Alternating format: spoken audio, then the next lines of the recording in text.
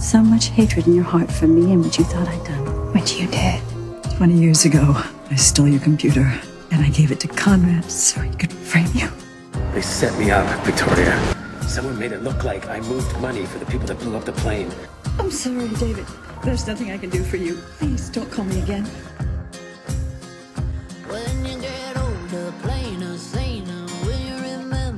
And I'll never forgive you for inviting that bastard into our bed.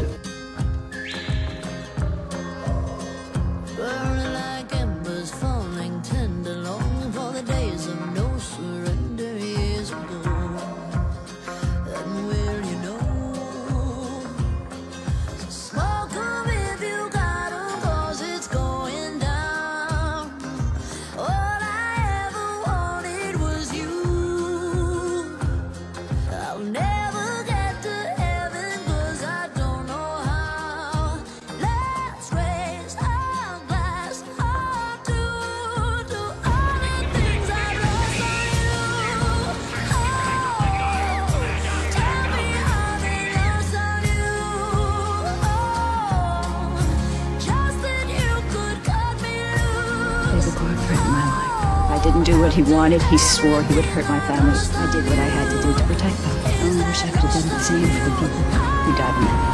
For 20 years, to piece together the conspiracy that destroyed my life, I still have one unanswered question. Did you betray me?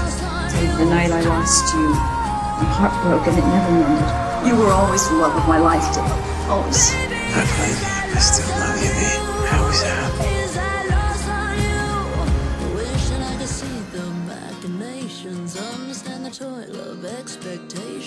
In your oh,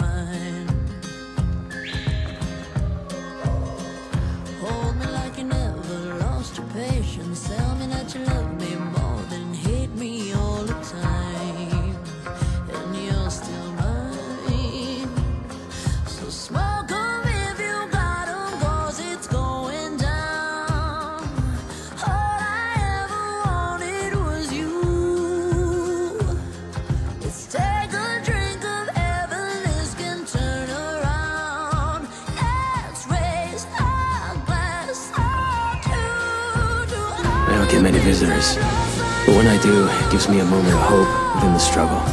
Because I think maybe you'll walk through that door, having forgiven me. Do you remember how I wanted us to leave weeks before I was arrested for fighting my son? He said, let me take care of things. This morning, he said the same thing. I won't be anyone's prisoner anymore. Not even yours, Victoria. You still need me, David.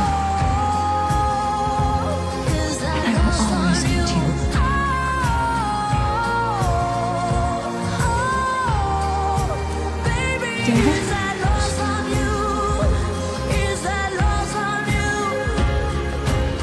I'm gonna talk cruel, Victoria. How about ripping a child away from her father? Or bribing a doctor into poisoning every good memory she ever had of him? That is the truth that you're running from. David, I am so sorry. I'm so sorry.